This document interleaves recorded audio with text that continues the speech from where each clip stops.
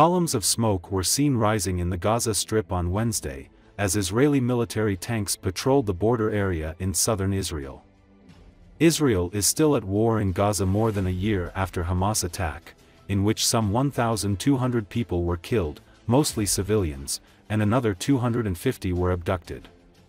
Around 100 captives are still being held in Gaza, about a third of whom are believed to be dead.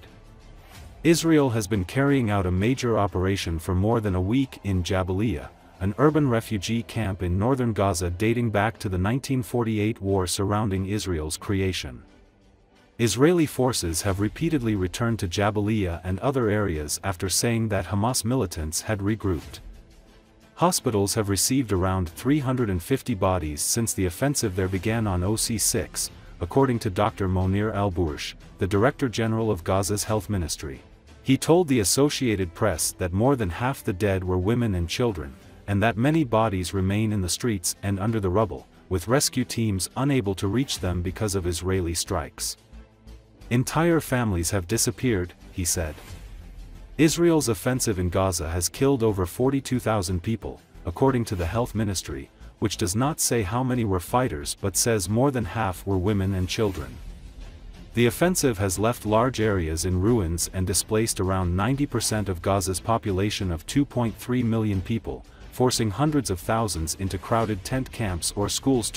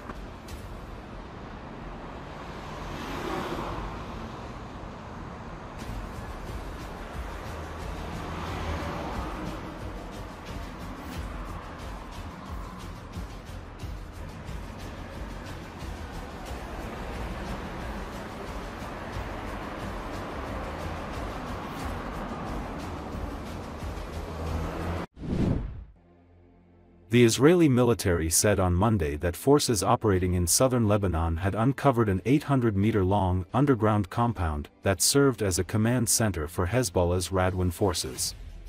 A video released by the army shows various weapons and ammunitions that it says were stored inside the tunnel, including helicopter-fired missiles and mortar shells, as well as motorcycles and living quarters that include beds and a kitchen stocked with food and supplies.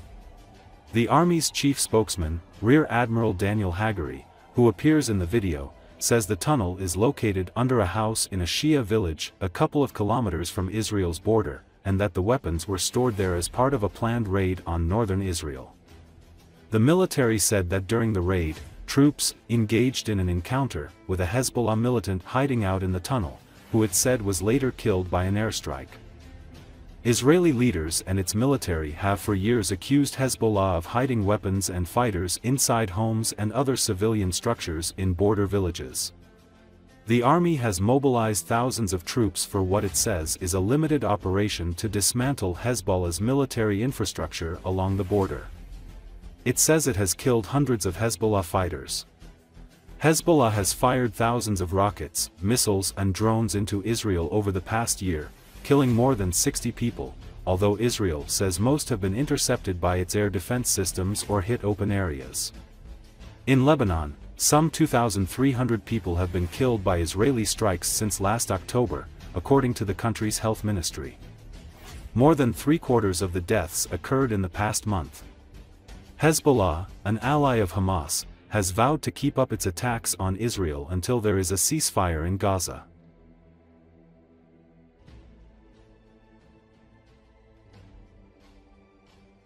We're now in the bunker uh, that we found underneath a Lebanese house in a Shia village only a couple of kilometers from our border. This bunker was ready for Radwan forces, for a battalion of Radwan forces to enter into this bunker and do a raid into Israel and do a larger scale of massacre than the 7th of October. They were planned with the motorcycles here to go to Kiryat Shmona, to Iftach, to villages, and uh, positions inside Israel and conduct a massacre. They were only here a couple of days ago. In those beds with those weapons here, we found the fresh coffee and food here, in this compound, underneath the Lebanese village, underneath the Shia house. This wasn't supposed to be here. 1701 should have prevented it. We need to impose a 1701, a fully imposed 1701 this area so Hezbollah can never be next to our border with such infrastructures that can do a conquer Galilee plan like he planned. Hassan Nasrallah, this ruthless terrorist that we eliminated, that is responsible for the deaths of many people, not just Israelis, Germans, Americans, French, and others. The world is a better place without Hezbollah. The world is a better place without Nasrallah. Nasrallah thought he understands Israel he was wrong and he was eliminated. And all our enemies should know, whether they are close or far away in Iran, they should know that we are determined. We are determined to supply security and safety to our citizens. We have only two missions to bring our citizens back home next to the border in safety and security, and to bring back home 101 hostages that are being held in ruthless conditions in Gaza.